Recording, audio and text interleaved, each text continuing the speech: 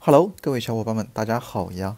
今天我们来看一个公版的 RTX 2080 Ti 显卡。据卡主描述呢，是可以开机的。先给它上机来看一下是什么问题。嗯，可以点亮，也可以正常进入系统，驱动都能驱上，分辨率也有。一跑鲁大师就开始出现了一些花屏，满屏的全是这种五颜六色的小彩球。紧接着就闪退了，连测试的界面都没有了，白屏。过了一会儿退出界面，得出了一个一五九二八一万多的跑分。对于二零八零钛来说，这个跑分属实是有点低了。这个跑分差不多可以和 GT 六幺零相媲美了，属实是太拉胯了。这怎么才能愉快的玩游戏呢？明显有问题啊！这是它的第一个问题。鲁大师跑分会花屏，这个分数也不正常，相对来说有点偏低了。再来跑一些其他的测试，比如说这个甜甜圈测试，同样一进去甜甜圈也卡死了，但是系统还没有死机啊，仅仅是甜甜圈死机了，闪退了。现在，那故障已经观察的差不多了。刚刚我用 GPU Z 看了一下，是美光的颗粒没错了，你懂我意思吧？进入测试系统来测一下是哪个显存有问题了。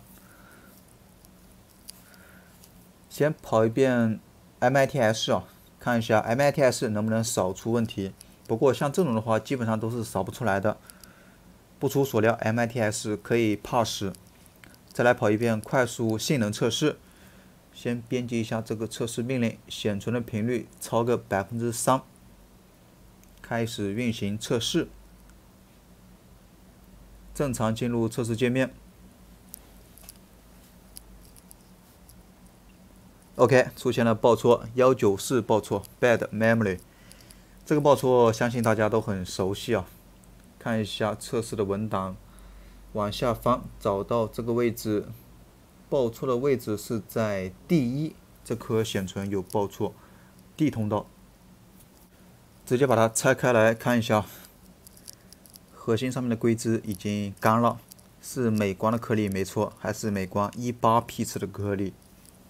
这个批次的美光颗粒确实是容易造成一些不良的报错，体质偏差。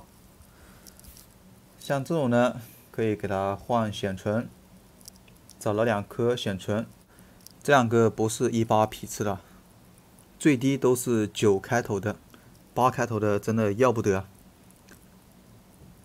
像这种第一报错，一般按我的习惯，都习惯把 D 通道两个显存一起换掉，因为这两个显存平常都是一起工作的，一个不良了，另外一个估计也用不久，所以呢，索性就把两个一起给拆下，用吸线把焊盘给清理干净，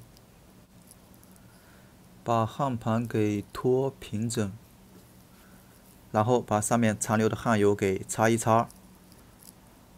换显存其实很简单啊，清理完焊盘之后，在上面均匀的抹上那么一层助焊剂，然后再把准备要换上去的显存放上去，显存对好位置之后，拿风枪加热。